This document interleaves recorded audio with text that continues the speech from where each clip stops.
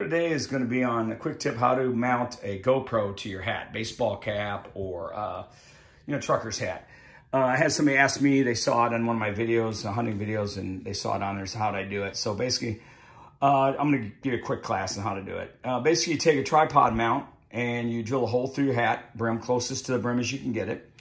And you take a quarter inch by 20 threads uh, bolt, which is a standard tripod bolt, and you run it through there after you drill a hole in it and basically mounts to the uh, hat like that. And I, you know, I painted it black so it's not reflective, uh, you know, bothering me above my head where I could see it or whatever. But so you don't have to, but I, I paint it with black paint to match the black.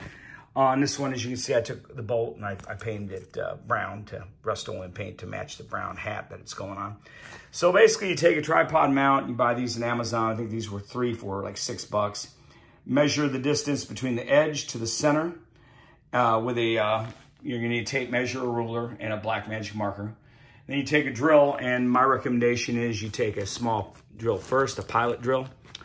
Run through with that first, get your hole started after you mark it with the pen, and then use the bigger drill bit, which is just slightly smaller than the uh, actual quarter inch bolt that you're running through.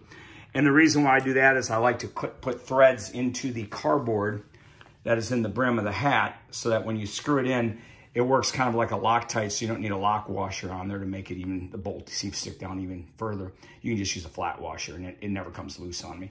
So basically you measure that distance, get as close to the hat uh, brim as possible, as you can see here. Uh, it, it, supports the weight. Uh, I recommend that if you use a hat, you can use a hat like this, works pretty well with the plastic uh, attachment straps on the back.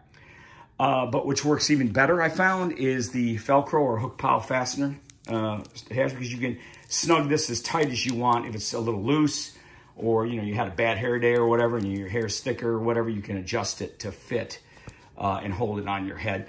I haven't had a problem with it coming off even when I lean forward and put my chin to my chest because the weight is distributed closer to the headband. Uh, and it's worked really good for me. Uh, so basically that's how I do it. Quick tip, you know, you 7 16 wrench, will tighten it up. Quarter inch bolt, usually have a 7 16 head on it. Uh, it's quarter inch by 20 and it's basically the same as any tripod mount. So you get these, like I say, they're pretty cheap, Amazon, wherever, uh, and mount it to your hat, put your GoPro on your hat, and you're good to go. Then you've got hands-free uh, filming of your hunt videos or whatever you want to do.